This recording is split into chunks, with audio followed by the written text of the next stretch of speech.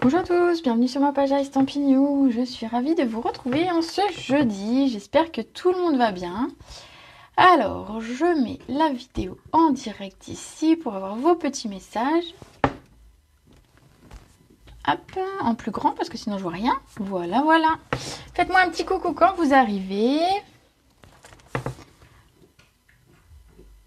Hop là.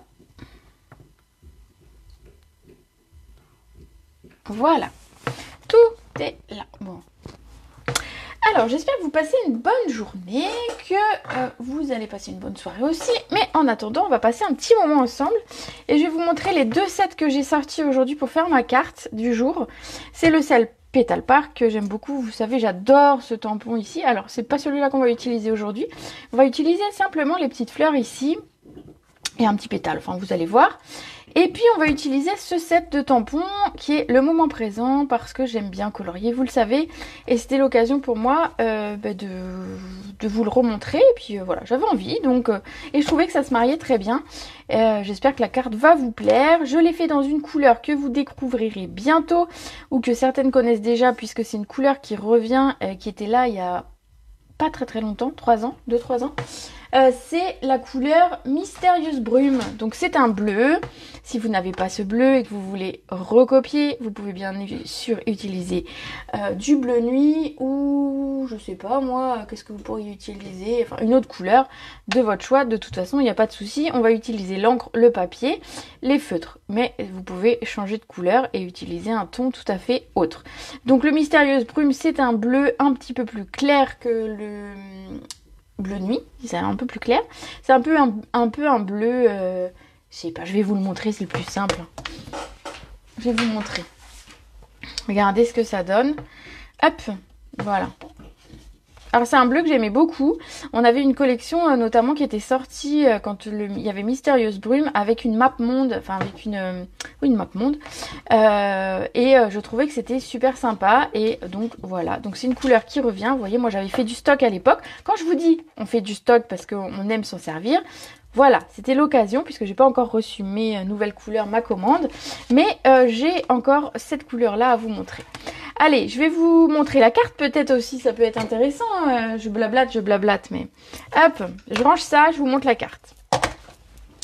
Alors, la carte du jour, c'est celle-ci que j'ai faite. Regardez, elle est toute simple. Je voulais simplement vous montrer que si vous n'avez pas de tampon de, de papier design, vous pouvez le faire simplement avec un peu d'encre et, euh, et, du papier blanc. Et c'est ce qu'on va faire ensemble. J'espère que la carte vous plaît. N'hésitez pas à me le dire en vidéo. Ça fait toujours plaisir dans vos commentaires de, de vous lire. Alors, pour cette, carte, on va utiliser donc ma base en mystérieuse brume. Mais je vous invite à choisir une autre couleur si vous le souhaitez. Euh, l'idée en fait, ça va être d'utiliser la même couleur pour le fond, pour notre étiquette et pour le chapeau. Vous voyez, j'ai utilisé les mêmes teintes. Mais après, vous pouvez utiliser tout à fait autre chose. Par exemple, on pourrait la faire, je vois Nathalie qui est là, on pourrait la faire en cuvée de cassis et obtenir quelque chose de très sympa. Allez, 14,5 par 21, comme d'habitude. On ne change pas une carte qui gagne. par, on plie à 10,5. Quoi, toute simple, elle est trop belle. Bah, oui, bah des fois, tu sais, tu sais, des fois, je prépare des cartes. Alors, celle-ci, elle me plaît. Hein. En plus, c'est des couleurs que j'aime, vous le savez. Mais des fois, je prépare des cartes et j'ai des doutes savoir si ça plaira ou pas. Parce que, ben voilà, des fois, on doute un petit peu aussi, quoi. Euh, Ici, on va couper un morceau de papier, donc en blanc, qui va faire 14 par 10 pour mettre à l'intérieur.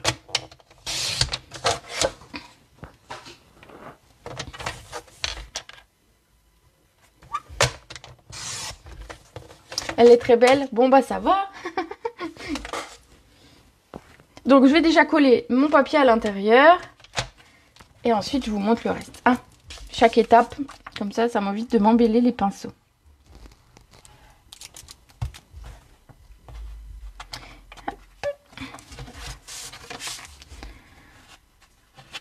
Voilà pour l'intérieur, pour pouvoir écrire un petit mot ou faire un petit rappel de déco. Alors je vous avoue qu'il n'y en a pas du tout, qu'elle est toute blanche, mais il y a quand même le, papier blanc à l'intérieur pour écrire le petit mot. Voilà.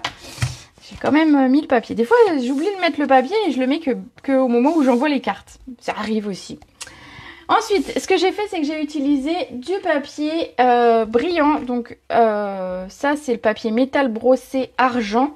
Vous savez, vous avez trois feuilles dans des gris différents. Euh, j'avoue, je sais plus si ça reste ou pas. mais voilà, c'est du papier argent. vous en trouvez. On en a régulièrement, de toute façon, où vous avez ça sous le coup, du papier un peu brillant. J'aime bien associer le bleu avec de l'argent, mais pas d'obligation. Moi, je fais 10 par 14. Et on va pas le coller tout de suite. Hop. On va ensuite découper dans notre papier blanc encore un morceau, du coup, qui va être un petit peu plus petit, qui va faire 9,5 par 13,5. Coucou Muriel, coucou Patricia. Voilà. Et c'est sur celui-ci qu'on va travailler. Je mets tout ça, tout ça par là. Hop. Je vais prendre une petite feuille de brouillon. Bah, voyez, voilà. C'est joli ce bleu avec ce vert. À méditer. des fois, sur mes brouillons, j'ai des bonnes surprises de, couleurs qui, vont ensemble. Alors, ici donc, je vous disais, on va utiliser Petal Park. Et moi, j'ai utilisé la fleur qui est ici, enfin le lot de fleurs qui est ici. Je vais simplement... Voilà, prendre un bloc un peu plus adapté. Comment je vais? Ben écoute, ça va. Et chez vous, comment ça va? J'adore cette carte. Bon bah cool. Merci Patricia. Ça fait plaisir, ça fait plaisir.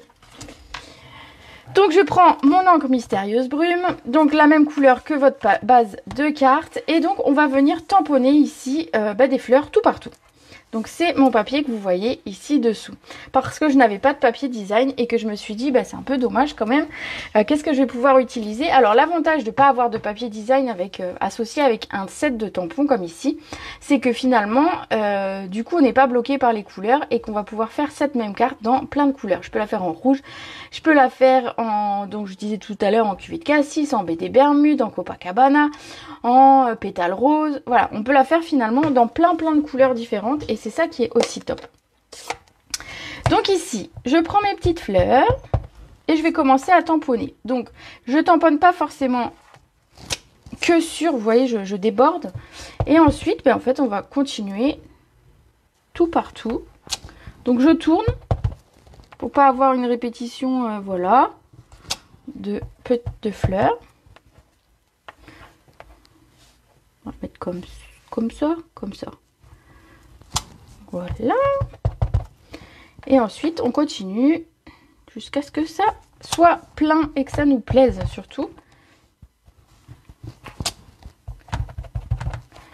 Euh, allez, comme ça. on tourne boule. Voilà. Regardez, pour le moment c'est super facile. On va dire que je peux pas quand même euh, vous faire plus simple que... Euh. Ah, vous avez du beau temps, vous bah, Profitez bien, parce que ici, ça alterne entre la pluie et le soleil. Depuis tout à l'heure. Il y avait du soleil, maintenant il y a de la pluie, après du soleil. Enfin bon, ça n'a pas arrêté. C'est tout, hein, on fait avec. Hein. Donc ici, on a notre papier de près. Donc on va créer finalement son propre petit papier design. Mais pas un papier design très compliqué parce que vous voyez, j'utilise une seule, un seul tampon. Ah, donc un seul motif, on va dire. Ensuite, ce que je vais faire, c'est que je vais prendre ma, mon encre et ma brosse estompe. Et on va venir euh, travailler le papier pour, écouter, lui donner une petite couleur qui est un petit peu différente. Euh, ici, je ne sais pas si vous allez bien voir, du coup, je vais le mettre comme ça. Voilà, c'est mieux. Avec mon papier de brouillon tout cracra. Alors, ici, donc, j'ai ma brosse. Euh, j'ai mon encre mystérieuse brume ou la couleur de votre choix, mais l'idée c'est d'avoir la même couleur que vous avez utilisée pour tamponner. Et on va commencer à ancrer.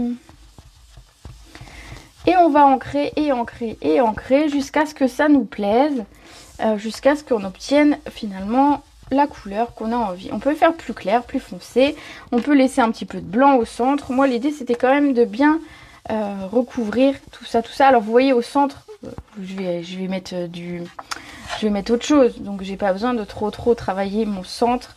Mais les côtés, j'ai bien envie d'avoir quelque chose de bien marqué. Donc on va passer plusieurs fois.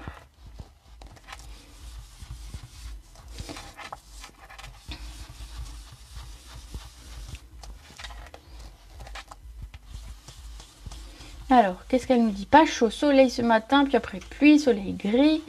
Oui, bah oui, bah voilà, un peu comme ici, quoi. Quand il y a un petit rayon de soleil, on en profite, on sort.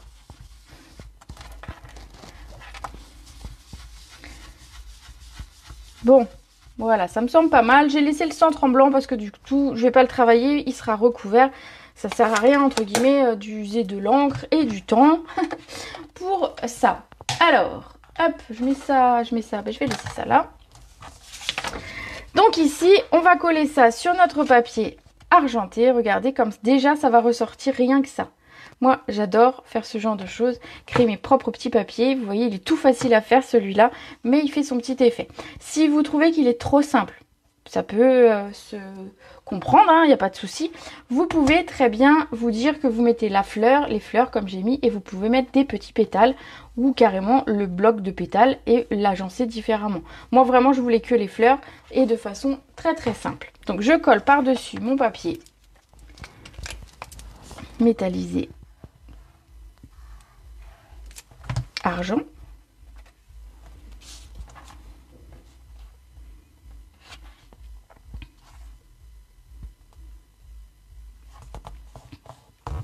Voilà, alors on appuie bien parce que sur le papier, euh, je dis ça parce qu'en fait sur le papier métallisé comme ça, la colle a tendance à glisser un petit peu et donc on pourrait encore bouger le papier. Vous voyez, ça c'est moins, euh, moins rapide, on va dire, comme prise sur du papier spécial comme ça.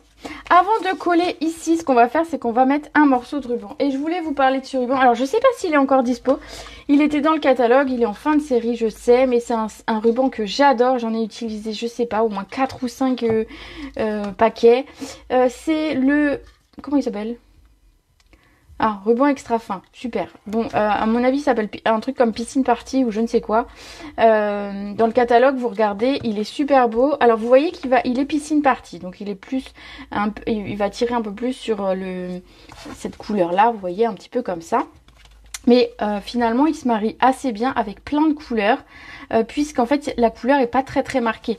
Finalement, si je vous le montre, vous allez voir qu'il y a une teinte, mais c'est très très très léger. Ouais, on voit un petit peu à l'écran. Donc l'idée ici, ça va être d'en couper un morceau et de euh, se garder de mettre, pour mettre un petit nœud ici à l'extérieur.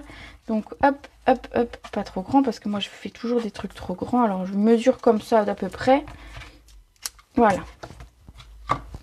Alors euh, j'ai pas envie de me prendre la tête pour coller mon ruban. Alors vous allez voir comment je fais. Vous savez que j'aime pas me prendre la tête pour plein de choses on va au plus simple. Donc je mets ma colle. Je vais mettre mon ruban. Donc mon ruban, l'idée c'est que j'ai un morceau ici et que celui-ci passe ensuite par-dessus. Vous voyez, pour aller euh, euh, se, faire le nœud. Et donc en fait, tout simplement, je l'ai posé et j'ai collé par-dessus. Donc l'avantage c'est que si je suis pas centrée au moment où je pose, je peux encore le bouger. Voilà. Regardez, vous voyez, je peux encore le bouger, le mettre bien. Voilà, ça ira bien. Et puis donc, je vais faire un petit nœud ici. Vous voyez, si je peux encore le, le faire bouger, finalement, c'est pratique, hein, on va dire. Donc, je vais faire un nœud ici. On va essayer de se mettre au milieu quand même. Voilà, voilà, voilà. Bon, après, s'il n'est pas au milieu tout à fait, c'est pas non plus très très grave. Allez, un nœud qui va être moche parce qu'à chaque fois que je fais un nœud en vidéo, eh ben, il est raté. Mais c'est pas grave, on fera avec. Oh, il est pas trop raté, mais il est pas très droit. Mais hop, ça va aller. Hop là, voilà, un nœud. c'est fait, on n'en parle plus. Donc vous voyez, j'ai même pas mis de double face, on aurait pu le maintenir avec du double face, etc. etc. Mais finalement, euh, on le met comme ça et ça maintient très très bien avec la colle qu'on aura mis pour euh, la carte. Ensuite, ce que j'ai fait, c'est que j'ai utilisé un pli, un, les dies pour découper une étiquette. Alors je l'ai coupé à l'avance vu que c'est la seule chose que j'avais à couper avec euh, la machine. Je voulais pas du coup la sortir. Euh, j'ai pris ici, vous voyez, le deuxième en taille. Euh, pour vous donner une idée, pour celles qui n'ont pas ces découpes, elles font 8 par euh, 11,5. Voilà, si vous voulez mettre un autre rectangle ou autre chose, vous pouvez tout à fait. Euh, ici, les poinçons s'appellent contour festonné. Donc du coup, dans un papier blanc, on va venir découper un morceau qui va venir par-dessus ici. Et donc pour ça, j'ai besoin d'un morceau blanc, blanc, blanc. Ici. Donc on va avoir besoin d'un morceau qui va faire 6,8 par 10. Donc ce rond, ce contour festonné, j'aime bien son côté un petit peu petit biscuit, vous voyez. Euh, les petits lus, voilà, les petits lus. Euh, un petit peu biscuit et euh, j'aime bien la fausse couture ici, enfin les faux pointillés à l'intérieur. Et en fait mon papier blanc, vous allez voir, il va venir juste ici, mais on voit encore ces petits pointillés et c'est ça que j'aime beaucoup. Alors on va pas le coller tout de suite, on va d'abord tamponner notre motif. Ce sera plus simple, mais voilà. L'idée ça va être ensuite de le coller ici. Donc on peut pousser un petit peu son nœud, ou en tout cas le nœud peut être un petit peu presque en dessous de notre, de notre papier. On le collera juste après. Euh, qu'est-ce que j'ai à faire maintenant? Je vais tamponner mon motif. Donc je vous disais, j'ai pris le set de tampons, le moment présent. Si vous aimez faire du coloriage, si vous aimez, euh, Stampin' Up a beaucoup de tampons. Enfin, il en a quelques-uns de tampons avec des personnages. Vous avez un tampon avec des papas, avec euh, je ne sais plus. Enfin voilà, il y a plusieurs personnages comme ça et qui sont top que vous aimiez colorier au crayon aquarelle au crayon estompe ou au blend comme moi, euh, vous aurez de quoi vous amuser parce qu'il y a plein de petits personnages comme ça. Ici j'ai opté pour la petite dame qui prend son apéro tranquille euh, devant, ben, je sais pas, un paysage sûrement très joli. Hein. On l'accompagnerait bien d'ailleurs. Du coup on va prendre notre tampon. Vous voyez j'en ai même un ici que j'avais préparé pour autre chose et qui est resté à l'intérieur. Voilà je le laisse ici Et je m'en resservirai plus tard. Euh, et tu sais que les contours biscuits, c'était un calendrier avant très longtemps en Bretagne. Alors, je l'ai lu, mais je ne sais pas si c'était vrai ou pas. Voilà. Euh, oui, il y, a un set de tampons maman-bébé aussi. il est magnifique. J'avoue. J'ai pas pris parce que j'ai pas tout pris, mais il est super beau celui-là. Oui, alors les, biscuits, c'était ça. Il y avait 52... Euh, 52 petits trucs là pour les 52 semaines. Euh, oui, j'avais lu ça, mais je ne sais pas si c'était vrai ou pas. J'avoue, je vais pas chercher à en savoir plus. Alors, mon tampon ici. Je le fais à la mémento et plutôt en bas donc de, de mon papier. Pas tout en bas, tout en bas, mais presque. Hop, voilà, l'idée c'est qu'en fait la robe soit à peu près euh, en fin ici. Alors mes cheveux, vous voyez, ils sont pas très très très très marqués. mes manteaux mériteraient un petit rechargement, donc il faudra que je m'y attelle cette semaine.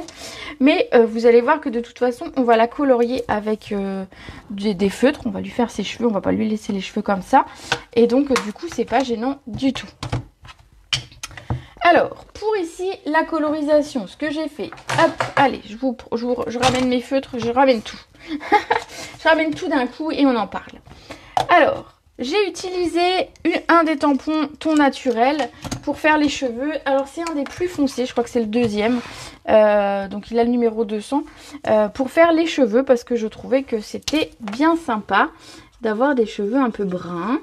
Alors, en fait, les cheveux sont marqués un petit peu... Pourquoi il bouge mon truc? Euh, les cheveux sont marqués par des petits zigouigouis en fait. Mais en fait, je vais recouvrir les zigouigouis avec mon feutre. Donc, je suis en fait les zigouigouis et je fais le remplissage. Je ne fais pas de dégradé, c'est juste des simples cheveux. Donc, je fais euh, tout simple. Voilà. A un petit cheveu qui dépasse et c'est parfait. Pour ce qui est de la peau, pareil, je vais utiliser les tons naturels. Et pour ça, alors je pense que je vais pas prendre le même que euh, j'avais utilisé la première fois, puisqu'ici j'ai pris... Euh, on en a un qui est un petit peu plus rosé, un qui est un petit peu plus... Euh, donc un peu plus rose, un peu plus beige, on va dire. Et donc ici, j'ai pris celui qui fait un petit peu plus peau. je vais vous montrer comme ça, vous verrez les deux. Donc le, le premier, j'ai utilisé le 1000 et là, c'est le 900. Donc je fais ses mains et ses bras. Parce que il fait beau, elle a mis une petite robe sympa. Pareil, pour les bras, tout ça, je fais pas d'ombre, etc. Je laisse comme ça. Je vais vous montrer la différence entre les deux. Donc ça, c'est le 900 et ça, c'est le 1000. Vous voyez, c'est les deux couleurs les plus claires qu'on ait dans les tons naturels. Il y en a un qui est un petit peu plus rosé et un qui est un petit peu plus euh, brun. Euh, voilà. Qui tire un petit peu plus sur le brun. Moi, j'ai une préférence pour celui-ci par rapport à celui-ci, mais euh, voilà, selon, euh, selon la pigmentation de la peau, ça peut marcher aussi. De toute façon, les deux fonctionnent très bien. Ensuite, on va faire son chapeau. Donc, j'ai utilisé la même couleur que ma base de carte, à savoir le Mystérieuse Brume. Donc, je vais venir faire le chapeau avec le plus clair, qui est quand même assez foncé en, feutre, hein, déjà. C'est un peu comme le bleu nuit, on a quelque chose de bien marqué au niveau de la couleur.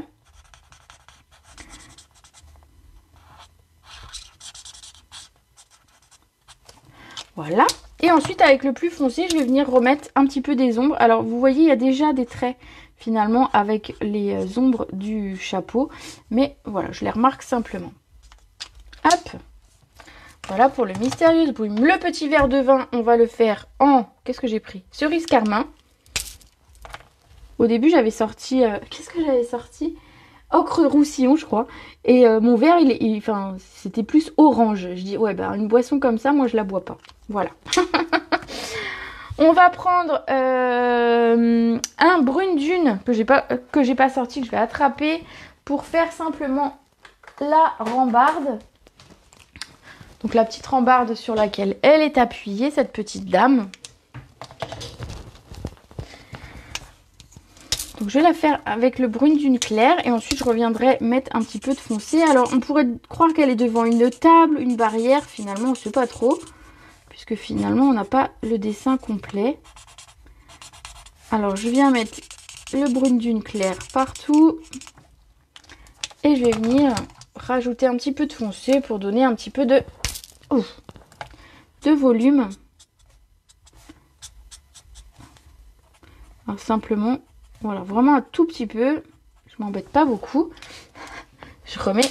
Ça peut être un jus d'orange, oh, bah, ça peut être tout ce que vous voulez. Ici, bah, je voyais bien le petit verre de vin. Ça peut être non alcoolisé, hein, on est d'accord. Hein. Bien sûr, bien sûr, un verre de... Comment ça de, de, de raisin, voilà. Ensuite, il nous reste la ceinture de la petite dame que j'ai oubliée que j'ai fait finalement la même couleur que ses cheveux parce que bah, ça fait assez euh, couleur du cuir. Ça marche aussi. Hop. Et voilà. Et il nous reste sa petite robe. Euh, très joli cas. C'est joli ce bleu. Merci du partage. Mais avec grand plaisir Alexiane. Ici, j'ai utilisé pour la robe du piscine party. Piscine party puisque finalement, c'était la couleur de mon ruban. Et je me suis dit, ben, je vais faire une petite touche de rappel. Et euh, je, trouve que voilà, c'est très sympa. Donc, on va faire sa robe en clair. Et ensuite, on viendra mettre un petit peu le foncé là où on estime qu'il y a des plis au niveau du vêtement. Alors les tampons Stampin' Up sont bien faits puisqu'en fait les plis sont déjà marqués par des traits. Et donc du coup quand vous avez comme ça euh, des hum, coloriages à faire et que vous voulez marquer un petit peu les, les, traits, et les plis et les ombres, ben, finalement vous êtes déjà bien aidé par ces, par ces plis qu'on devine. Donc on a un ici dans le dessous de bras finalement, le bras, la manche et puis dans le bas du dos avec la ceinture qui forcément euh, maintient le tissu et donc du coup on a des choses, on a des plis et du coup on a du un petit peu plus foncé. Regardez, j'ai simplement rajouté quelques touches de foncé et voilà.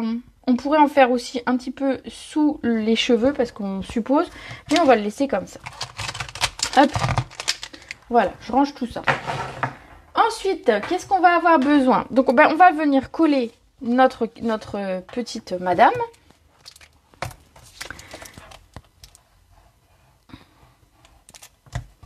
On va la coller sur notre découpe en mystérieuse brume de tout à l'heure. Alors on la centre pour voir encore les petits, je la colle plein les doigts, les petits surpiqûres.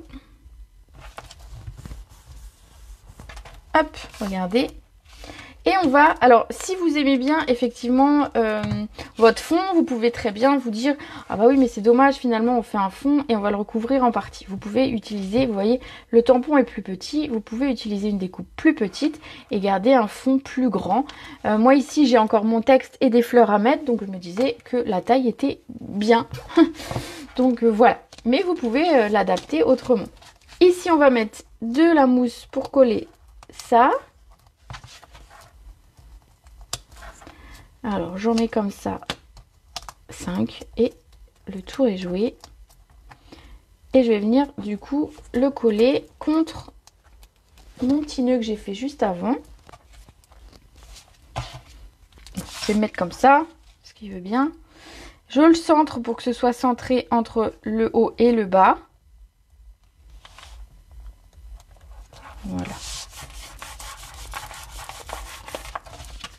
Voilà, vous pouvez le mettre plus euh, comme ça si votre nœud est plus là-bas. Enfin bon, bref, vous voyez bien ce que je veux dire. Regardez, on est déjà pas mal. Ensuite, qu'est-ce qu'on va faire? On va préparer nos petites fleurs.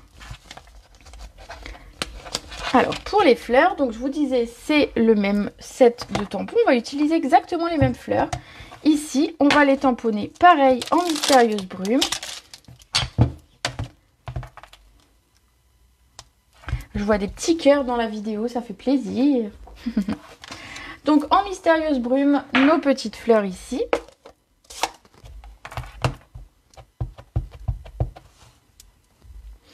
Euh, on va les mettre comme ça pour que ce soit plus facile à découper. On va également tamponner euh, des petits feuillages. Alors les petits feuillages, je vous avoue, je les coupe à la main. Euh, je vais vous montrer pourquoi. Mais vous pouvez les faire autrement. Alors ici, hop, les petits feuillages. Mais du coup, j'en ai fait trois et je les ai fait en vert olive. Il fallait un verre. Donc, hop, ah bah j'ai une petite chute de papier qui va bien aller pour mes feuillages. Regardez.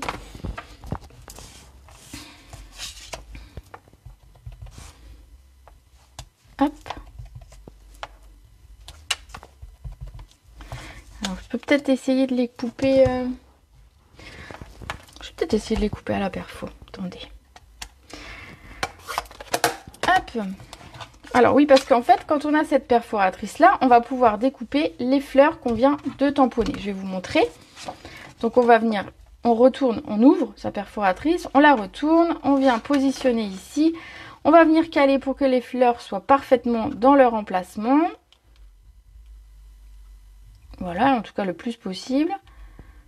Hop, alors on bouge, voilà. On ferme, on maintient fermé et on appuie bien fort. Et on a nos trois fleurs ici de fête. Mais je voulais vous montrer que ici, quand on veut découper euh, les euh, feuillages, finalement, à moins d'avoir une, petite bande de papier, je peux vous montrer, mais... après, à tenir dans la perfo, il faudrait une bande plus longue. Mais voilà. En fait, sinon, on va avoir tendance à couper. Vous voyez, si je coupe mon premier feuillage, finalement, je vais découper le deuxième euh, avec. Voilà. J'ai pas réfléchi. Il aurait fallu que je fasse plus d'espace et que tout ça, tout ça. Donc, du coup, pas de... Je me prends pas la tête. Vu que le feuillage, il est tout facile à couper. J'en fais... J'en voulais trois. J'en voulais trois? Quatre? Bon, bah alors... Voilà, j'en voulais quatre. Hop, je vais les faire rapidement au ciseau. Sinon, effectivement, vous pouvez prévoir la bande de papier, euh, réfléchir dans quel sens exact mettre votre, euh, votre tampon pour que ce soit le plus adapté possible. Vous allez voir que finalement, découper quatre feuillages, ça n'a jamais pris beaucoup de temps. Hop. Donc, je vais venir couper mes feuillages rapidement pendant que je vous lis. Euh, qu'est-ce que je lis? Bonsoir à toutes, je regarderai le replay, le, début en replay. Eh bien, pas de souci, Nadine. Avec plaisir. Alors j'aime bien, euh, si, je vous, si je dis comme ça votre nom et que vous écoutez en replay, vous allez dire, ah oui, c'est vrai, j'avais mis un petit message. Hop. Voilà, les feuillages, c'est vraiment très très facile à découper. Voilà, vous voyez. Même si je suis pas une fan de découpe, euh, là, c'est quand même, euh, on va dire... Euh,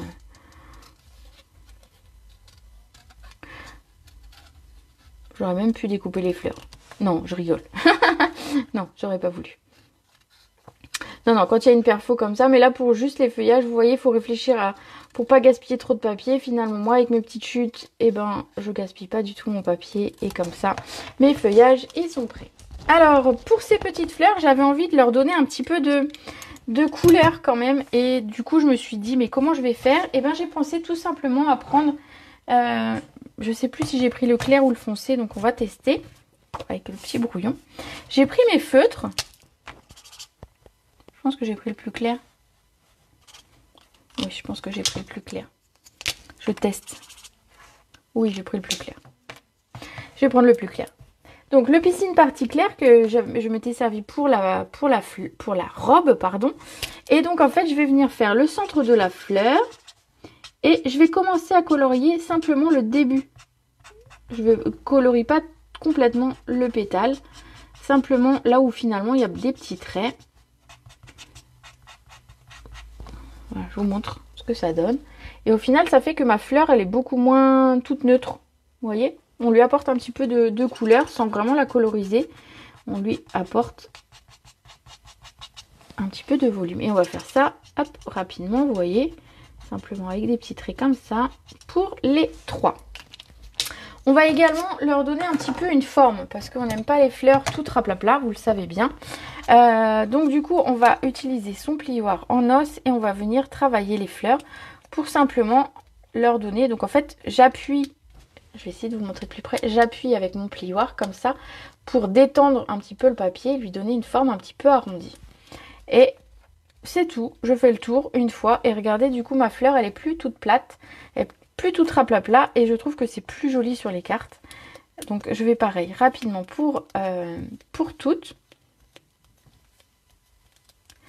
Bonsoir tout le monde et coucou, désolé du retard. Bah écoute, tu as pas de soucis là. Coucou, coucou. Ravi du petit coucou. Alors, hop, hop, hop. Ma dernière fleur. Voilà. Elles sont plus toutes raplapla. Moi, je préfère. Ensuite, on va venir bah, les disposer sur notre carte avec des petites mousses. Et il nous restera notre texte. Ah, on va peut-être préparer le texte. Comme ça, on préparera... Oui, on va préparer le texte. Allez, je vous montre le texte. Donc, du coup, il est avec le set de tampons, le moment présent. Et c'est un texte qui dit, normalement, tu fais toujours tant pour les autres, fais-toi plaisir à ton tour. Et moi, je me suis dit que j'allais juste garder le fais-toi plaisir à ton tour. Donc pour ça, on va... C'est l'autre. voilà, c'est celui-là. On va simplement le tamponner sur une feuille. Et on recoupera pour garder qu'une partie du texte. On pourrait découper le tampon, je l'ai déjà fait, j'ai déjà découpé des tampons. Ça choque toujours tout le monde quand je coupe mes tampons, mais euh, voilà, par exemple sur celui-là, on pourrait très bien dire je le coupe et euh, quand j'en ai besoin de la phrase complète, je les mets tous les deux sur le bloc acrylique et ça marche. Ici, on va essayer de le couper sans tout couper mm, de travers. Alors, hop, on va se mettre comme ça. Voilà. Hmm, j'aurais même pu le couper encore un petit peu. Allez, on va le retravailler.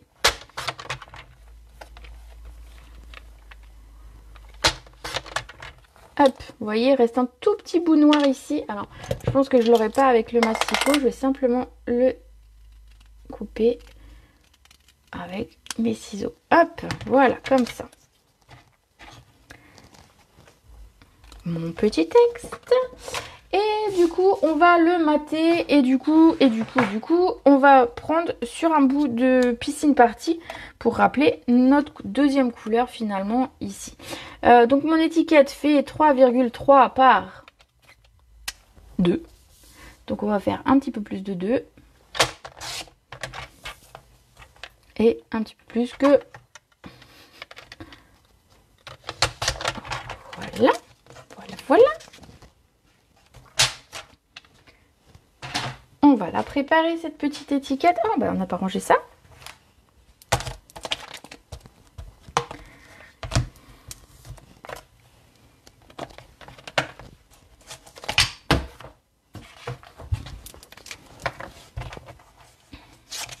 Alors, on va coller notre texte sur notre papier de matage. Hop.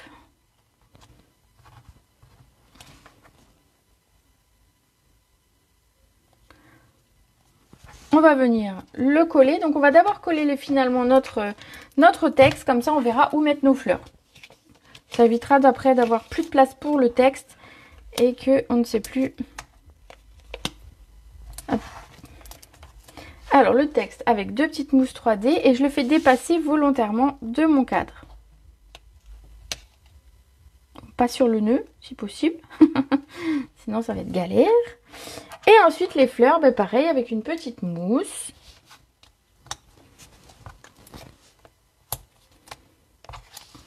On va coller d'abord la première, ensuite la seconde et la plus petite on va la garder pour le bas de la carte. Comme ça on travaille un petit peu, comme je vous le dis de temps en temps, en diagonale.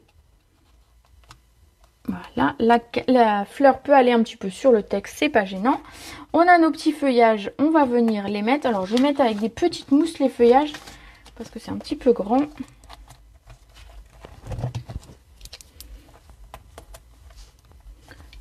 Voilà. Je vais mettre les quatre, ce sera fait.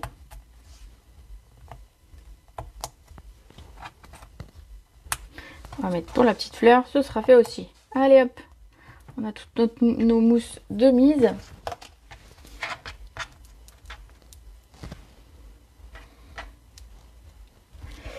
Donc on va mettre notre petite fleur en bas.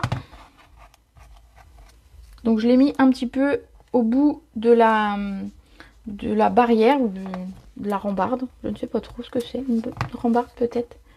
Et ensuite on va venir coller nos feuillages. sur la plus grande fleur, feuille, fleur, oui, pardon, je vais en mettre deux pour faire comme un double feuillage. L'avantage, c'est qu'on fait comme on veut. Alors, dans le même sens, si possible. Un peu plus logique. Allez, hop là. Et la petite dernière, eh ben, on va la mettre sur la fleur intermédiaire. Ici. Regardez. Voilà ce que ça donne. Je vais juste attraper mes cristaux du Rhin classiques.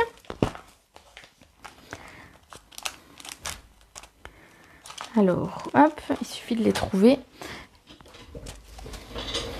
Et on va venir coller des cristaux sur chacune des fleurs. Et le tour sera joué. Donc pour la grande, ben, je vais mettre un grand. Pour la moyenne, je vais mettre un moyen. C'est hyper logique. Hein. Et pour la plus petite, eh ben, je vais mettre une petite. C'est bien qu'on ait plusieurs tailles de, plusieurs tailles de cristaux du Rhin. Du coup, ça nous permet de travailler comme ça. Hop Alors, est-ce que j'ai tout fait? Oui, je pense que j'ai tout fait. Est-ce que ça vous plaît? Ça, je ne sais pas encore. Alors, j'ai un petit bonhomme qui sourit, j'ai des petits cœurs. Oh, j'ai un bonhomme pas content au milieu. Les gens cliquez pas trop vite, sinon ça fait des bonhommes pas contents. Voilà la petite carte du jour qui invite à prendre du plaisir, à se faire plaisir, à profiter de la vie, vous savez, voilà, on se prend pas la tête et on profite. Euh, du coup, comme d'habitude, je vais vous faire gagner euh, une de ces cartes en la publiant sur ma page. Il vous suffira de laisser un commentaire et je ferai un tirage au sort demain. Euh, donc voilà, je vous remets les deux sets de tampons finalement qu'on a utilisés aujourd'hui, qui sont le Pétale Park pour les jolies fleurs, qui nous a permis de créer le papier de fond également euh, les fleurs et les feuillages qu'on a utilisés pour la décoration et enfin le moment présent avec cette petite madame qui profite de la vie et qui euh, on a utilisé une partie seulement du texte. Voilà voilà, très très joli et très estival. Voilà, mais exactement, la petite dame elle est en robe avec les bras nus et ça donne très très envie. Moi je vous le dis, je vous le dis. Alors si j'arrive, euh, comme je pars bientôt en vacances dans un mois, euh, j'ai alors j'ai pas de chapeau. Ah, j'ai pas de chapeau. Sinon j'allais dire que je vous fais la même photo. On en reparle. Faut que je trouve un chapeau. Je me ferai prêter un chapeau. On verra bien. Allez, sur ce, même moi, je vais vous souhaiter une très belle soirée. On va se retrouver mardi à 14h pour un nouveau live. Euh, la carte est prête et ce sera avec le set Sweet Citrus. Euh, vous verrez que j'ai détourné selon une carte que j'ai vue euh, sur internet de euh, Tammy Hewlett que j'adore. Et voilà, je me suis inspirée d'elle parce que c'est une personne qui m'inspire beaucoup beaucoup. Et donc du coup j'ai fait une petite carte à sa façon. Donc je vous montre ça mardi à 14h. En attendant, bah, moi je vous souhaite une très bonne soirée. Je vous fais des très gros bisous. Et je... Et ben voilà, c'est tout. Bonne soirée, gros bisous. Allez, à la prochaine